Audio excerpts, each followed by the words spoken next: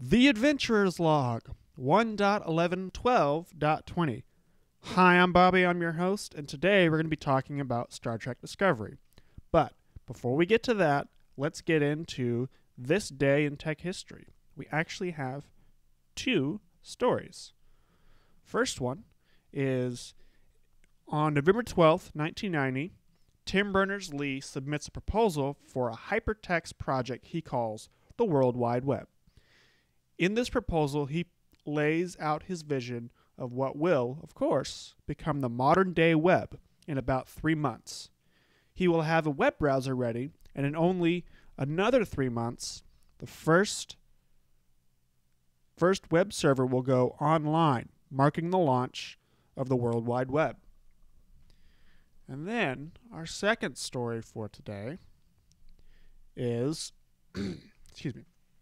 On November 12th, 2000, Bill Gates demonstrates a functional prototype of a tablet PC. Microsoft claims the tablet PC will represent the next major evolution in PC devi- design and functionality. However, the tablet PC initiative never really takes off, and it isn't until Apple introduces the iPad in 2010 that tablet computing is widely adopted. Microsoft's failure with the tablet PC initiative was threefold. First, they simply tried to adapt Windows and operating system design for use with a keyboard and a mouse for use with a touchscreen and pen interface. Users never really warmed up to the awkward hybrid interface. Second, by their own words, they were incorporating the, the convenient and intuitive aspects of pencil and paper into the PC experience. Rather than innovating, it appears to it appears that Microsoft was moving backwards by trying to graft an old paradigm, pencil and paper, onto a computer. It's one thing to create an app or peripheral that mimics pencil and paper. It's another to base an entire technology initiative around it. Finally, Microsoft left the design of the hardware to the OEM partners, most of whom are not especially well known for innovating designs. Most tablet PCs were considered too big, heavy, and expensive. Plus, the required pen stylus was prone to loss. All of these factors left many tablet PCs collecting dust if they were sold at all. All right, so let's get into Star Trek Discovery. Um, spoilers are ahead, so if you've not watched it, stop now. Pause now, go watch it, then come back and you can see what we talk about. Um, so Star Trek Discovery, season three, episode five, called "Die Trying." So last time we saw the crew, they had just learned of the location of um, Starfleet headquarters, and so they're on their way. And the, the the crew is prepped and they're they're ready to go. Um, and when they show up to the location, they just see this giant bubble, and the crew are like, "Uh, is that right?"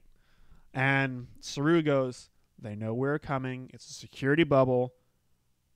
Go ahead." And so they pierce the bubble and pop inside, and it is the first time that we see, fully see, Federation starships from this timeline, the 38th century or whatever it is, 37th century or whatever.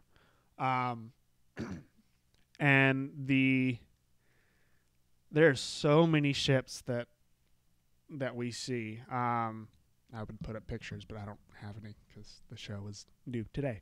Um, one of the ships we see is um, Voyager in a sense. Um, it is the Voyager Dash J, you know, the tenth version of the crew. Um, we also see another const- constellation cruiser. Um, they see another scout ship, um, and we also in the corner of the screen we saw the USS Nog. If you've seen Star Trek DS9, then you'll recognize that name. He is the first, at least on screen TV series wise, he's the first Ferengi to join Starfleet and also the very first Ferengi captain. So, little tiebacks to each series so far. I, I love when they do that. Um, then, when um, Saru, um, Burnham, and Adira Tal, um, sorry, I keep saying um, when Saru, Burnham, and Adira Tal beam down to the Federation headquarters, we see just just in in the in the front fore section of the screen, it's very quick. We see the name Kazon, and again, that's another reference to Star Trek Voyager. So I love all these references to different series that we keep seeing. It, it's just so cool. Uh, the next thing I'm going to talk about is that the admiral makes a, a, a mention of makes a mention of the fact that he's not seen a Kelpian in so long. And Saru goes, Wait, my people are still here? they're they're part of the Federation, and the admiral goes, "Yes, they are part of the. Fe- Kaminar has joined the Federation. We've not talked to them in, in quite some time because they are on the very edge of of our reach zone within, you know, whatever the distance is. And we also see new aliens, left and right. Uh, there are three that are in their sick bay being treated for something, which that's what the, the, the story centers around today. So, with the crew coming, or with Discovery coming in to the fold, the Admiral debriefs every single one of them and does like a scan of the ship and has intentions of breaking up the crew and reassigning them and bringing in new crew to to pilot Discovery. And Saru and Burnham, especially Burnham, are like, no, no, no, no, no. We're a family. We have our ways. We have, you know, we've learned who each other are. We, we can't. And the Admiral goes, I don't care. You're not home yet. You still have to follow my orders. So, as the crew and Burnham and Saru and everybody's being debriefed, we see a bunch of holograms. So it's it's a it's numerous amounts of holograms that are actually debriefing them, and we see a hologram doctor, um, not not Robert Picardo's doctor from Voyager, but just a hologram doctor. It's very unique because they have uh, how do I put it? They have very not robotic but alternated voices. So um, they they just sound a little off, almost like they're talking through a tin can, but a digitized tin can, if that makes sense. Um, so Saru asks how many how many people or how many planets species are in the, the Federation. And the Admiral says 350 member worlds of the Federation down to 38 that we are aware of. Um, we can tell that the Admiral still has deep hesitation over whether or not Saru and Burnham are telling the truth and whether or not they are from the past and not some sort of uh, temporal Cold War initiative people trying to change the future. Um, so that's we we see that reference again from Enterprise. So that there's several little loose ends that are being tied up very slowly, but being tied up uh, through this series, and I'm I'm very appreciative of that. There's there's a point where uh, Saru says, you know, that there's there's a disagreement on the, the headquarters. They go back to the ship. Saru and Burnham are talking, and Burnham is like, "Well, we just need to get a get a hold of the alien crew's manifest and figure out where they went." Da da da da. da. And Saru goes, "Get a hold of." Michael goes, Well, yeah, we, we need to, to look at it so we can help. And Saru says, I thought you learned your lesson about breaking rules and following orders, which is a reference to first and second season of Discovery, specifically the first season, and possibly earlier in this season, but still, specifically the first season. Um, so there's going to be some contention between them from time to time because Saru has gotten back into the Starfleet mentality, and Burnham is still in her Lone Ranger solo fighter kind of person mentality. Uh, so that's going to be interesting. Detmer is doing better, but obviously had an issue after the spore jump drive to where their mission took them. Um, what their mission was is they were they were looking for a seed bank ship of the Federation that has uncontaminated, untainted seeds from this planet that these aliens that were in the sick bay had gone to. So there was there's some connection to the past about that planet if certain things weren't done to fix their health. Uh, so something along the lines of in the past that planet had a lot of industrialization and looking and you know all of that, and because of that, the atmosphere was polluted, and because of that, everything is still contaminated to this day. And the aliens went to that planet scavenging for food, parts, whatever, and with that, they ate contaminated food or fauna or whatever from that planet. That's why they're slowly dying. So, so the mission is to go find the seed ship get the untainted seeds, fauna, flora, whatever, um, and bring it back and make a, a cure, and they'll basically redeem themselves in the Federation's eyes, and they'll be welcomed back home. Um, and so, with that, they had to jump to where the last location, last coordinate, known coordinates of the seed ship.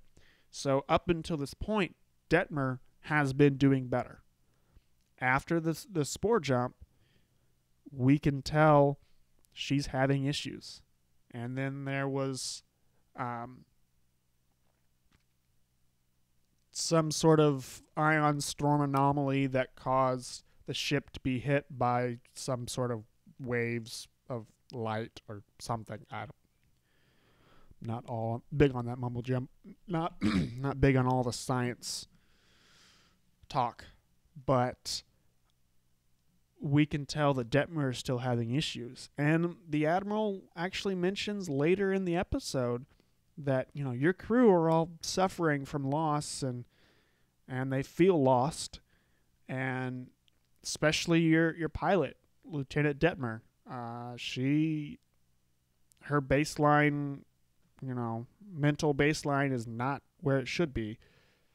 So that's like the first time that we see somebody of true authority mentioning anything. So I, like that they're slowly getting to it. I wish they'd get to it a little faster, but eh. Um, during all the interrogations, we see Philippa Georgiou in a room with two holograms and a guy over here wearing glasses, and Georgiou keeps asking, "Well, who's he?" And the holograms say, uh, "Look at us." And so she blinks at him a lot, and the holograms disappear. some fancy trick she knows. Not important. So the guy with the glasses sits down. Um, the gentleman with the glasses is. I might be wrong on saying this name, but I didn't type it. I didn't write it down. David Cronenberg. I'm pretty sure that is a reference to the Cronenberg movies and all of that, but that's him. Uh, so this is one of the most unique cameos that we see, but we don't understand why he's there. They're, you know, yeah, he's debriefing her, but he's honestly trying to find out more, not necessarily about her, but the crew of the ship. And so their their conversation, and he basically one ups Georgiou and can tell there's something going on there. Not you know not romantically, but something behind the scenes going on with him. Um, I really hope we see him again. And with with their interaction in, later in the episode, right there towards the end, we see Burnham walk, rock, walking along in a corridor and sees Georgiou, and so starts talking to Georgiou, and she just doesn't respond. She's in a very catatonic, unresponsive state, just standing there. And Michael goes, Georgiou? Philippa? Philippa. And then Philippa jumps out of it and goes, What? And like nothing happened. So I think there's going to be a connection to the guy with the glasses. I think his name was Vance, or I don't. They never really said his name, but I think there's a connection there. I don't know if she's mentally in a prison and he's in control of her mental capacities and the the person on the ship is just basically a shell being controlled by him. I, I we shall see about that. Um, one of the unique things during that inter- interrogation is he's got his little badge, you know, the the Delta badge, uh, and with that, he takes it off, and the hologram that he's working on, you know, the interface is working on, goes away. So at least with him, maybe not all the others, but at least with him, the holograms are built into his badge. And instead of it being readily available for anybody, it's more of a personal computer. So I wonder if that is common tech or if that's just his tech. So we'll see about that. So, on the mission they're, they're on, there's a point where Burnham and Culber, Culver, and Nhan um, go onto the seed ship because the operators of the seed ship change every so many years, and the operators of the seed ship right now are benzonites. I think that's what it was. Anyways, the species that Nhan is, and if you remember, she came from the Enterprise back in the past, and she took she stayed on Discovery after Airiam, the character who looked like an android, uh, was taken over by Control and Nhan killed Airiam and all that jazz. So she decided to stay with Discovery in memoriam to Airiam. So she, Culber, and Burnham are on the ship, and they, you know, they're walking around, and they realize the seed vault has been opened, and there's a bunch of hol- there's one set of holograms going, and we we see more of her species sitting there talking, playing, reading, da da da da, da through a hologram. And a lullaby is sang. And it's the exact same lullaby that Burnham heard from Adira Tal, who learned it from Senna Tal or one of the others. So another connection there that we're going to have to figure out. So they figure out certain people are dead. There's only one of the the other operators of the seed ship still alive, and he's trying to find a cure for his family, even though they're dead. And Culber says to Burnham, says, You've got to talk to him. Nhan can't talk to him about this because this is this is in her this isn't in her wheelhouse. She can't handle this. If it was any other species, she could, but it's too close to home for her. You need to handle this. So Burnham walks over and basically says, Dude, your family is dead. We have the ability to save another species, save someone else's family. We need your help. And so he break he breaks out of his catatonicness and opens up the seed vault and Nhan goes in and types in and gets the seeds and they went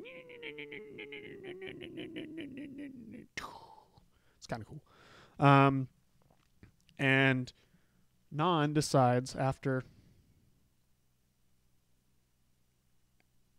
after um, after they get the seeds Nhan decides to stay on the ship because that's what she needs to do because it is her race that is operating the ship and she's the only one that's going to survive. So she decides to leave.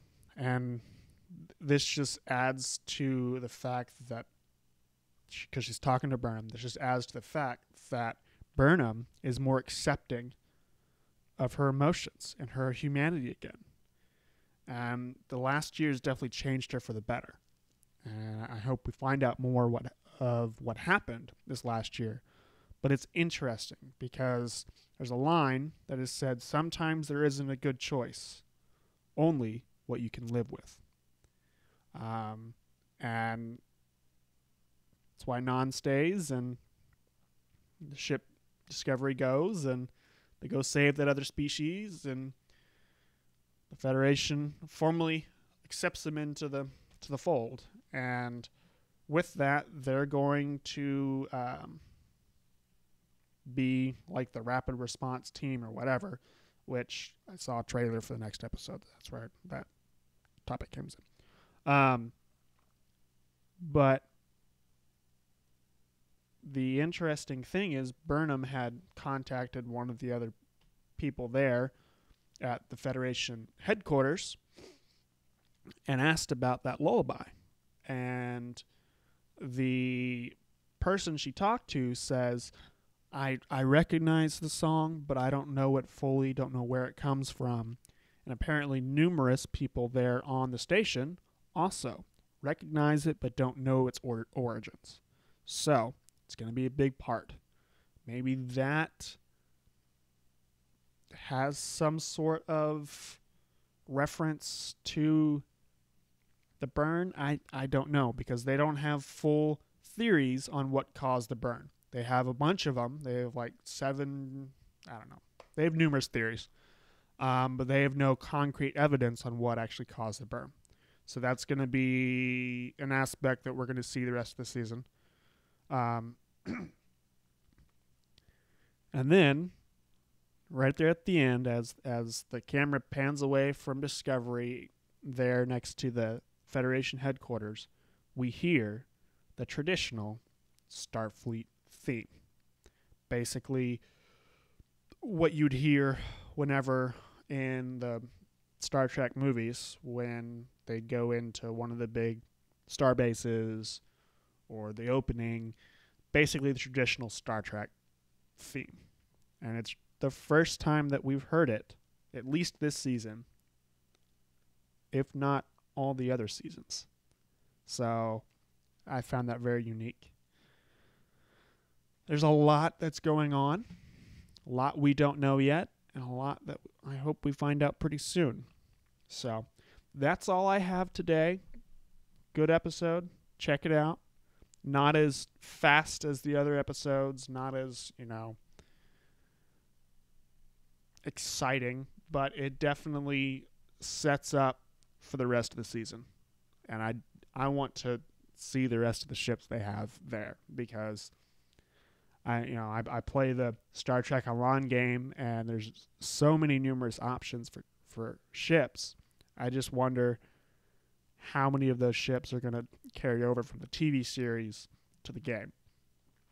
So we shall see. All right. Take a chance and explore something new or old, but new to you. Adventure is out there. Go find it. I'll see y'all tomorrow. Bye.